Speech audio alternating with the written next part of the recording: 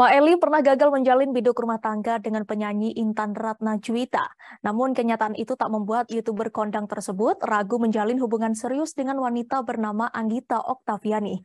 Sebelum langsungkan pernikahan, Maeli dan Anggita Oktaviani bertunangan.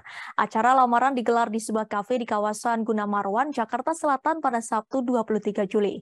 Meski terbilang baru mengenal Anggita, Maeli tak ragu mengajak atlet sepak bola itu ke jenjang serius.